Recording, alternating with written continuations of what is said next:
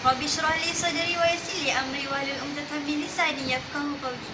Tajuk pada hari ini insya-Allah Ihya Ramadan. Saya Ina binti Ahmad Fikri ingin menerangkan maksud dari segi istilah ialah menghidupkan Ramadan. Dari segi bahasa pula ialah menghidupkan Ramadan dengan melakukan pelbagai aktiviti-aktiviti yang mendekatkan diri kita kepada Allah Subhanahu Wa Taala. Sebagaimana firman Allah Subhanahu Wa Taala, Ya ayyuhalladzina amanu kutiba syiyam kama kutiba alal ladzina min qablikum la'allakum tattaqun. Wahai orang-orang yang beriman, diwajibkan atas kamu berpuasa sebagaimana diwajibkan atas orang sebelum kamu agar kamu bertakwa. Sabda Rasulullah sallallahu alaihi wasallam, bukan saum itu meninggalkan makan minum, melainkan meninggalkan perkara sia-sia yakni tak tak bernilai dan kata-kata yang sombong. Hadis riwayat Ibnu Huzaimah. Bismillahirrahmanirrahim. Saya Nabila binti Al Majid. Jadi saya akan menerangkan antara amalan yang akan menghidupkan hiap Ramadan. Pertama, solat tarawih. Kedua, bermunajat kepada Allah Subhanahu Taala. Ketiga, banyakkan solat sunat. Keempat, memperbanyakkan zikir.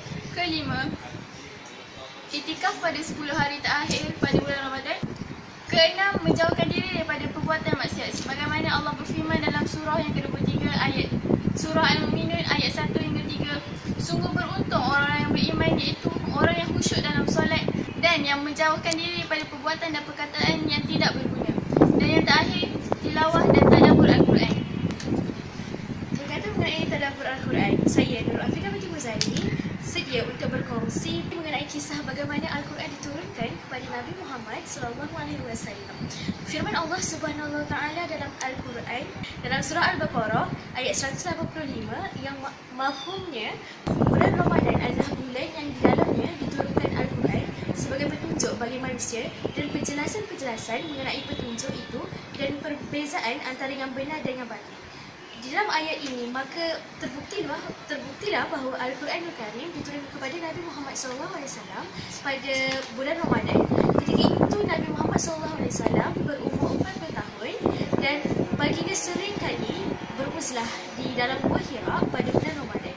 Amalan-amalan atau rutin harian yang sering kali dilakukan oleh Nabi Muhammad ketika itu yang pertama beribadah kepada Allah Subhanahu Wa Taala, yang kedua merenung masalah uh, umat di Mekah yang mana agak membimbangkan pada ketika itu dan yang ketiga merenung keagungan ciptaan Allah Subhanahu Wa Taala.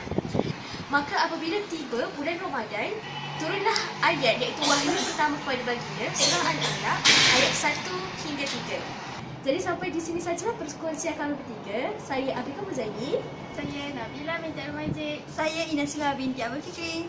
Assalamualaikum warahmatullahi wabarakatuh guys. Selamat beramal.